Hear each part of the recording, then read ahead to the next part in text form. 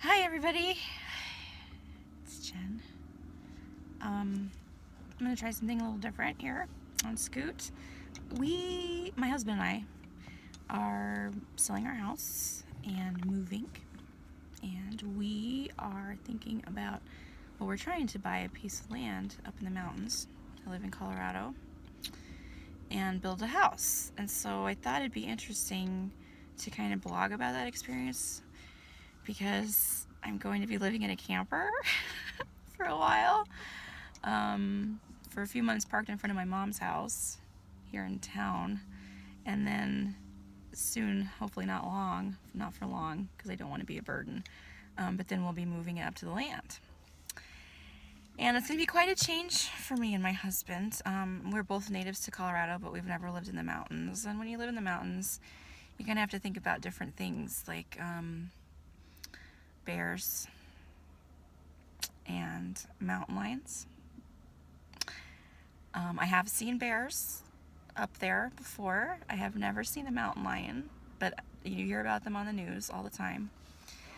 So, uh, yeah, that means that I have to buy a rifle, hopefully just to scare something off. I wouldn't hate to have to shoot a bear or a mountain lion. That'd break my heart. But, you know, that's part of living in the mountains too. So yeah, um, there's that. And yeah, bears are really the dominant thing that I keep thinking about. But you know, hey, I'm excited. The view is beautiful and the lot is about four miles from Rocky Mountain National Park. So, you know, really, you can't get any better living the dream out here. That's exactly what everybody wants to do. So I'm excited. I'm excited to be living at 8,000 feet altitude and training up there because then, yeah, virtually anywhere I go in the country and run, it's going to be easier than where I live. so if I can train and motivate myself to run up there, then I'm okay, I think. And we'll see if that happens. I don't know. It might be too much for my asthma. I don't know. We'll find out. Um, but yeah, so I'm going to be documenting all of this with my husband. Um, over the next few months and I'll check in periodically on Scoot with you guys and I don't know, it might just be interesting and it'll probably get ugly here and there. You know, building a house, um, it's not easy.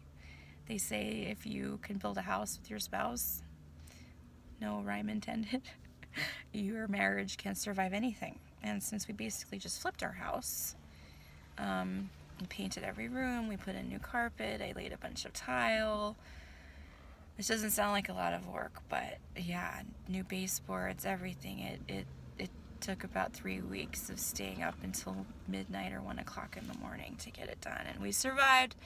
We don't hate each other. We're still together. So it bodes well. So anyway, stay tuned. We're going camper shopping here in a minute.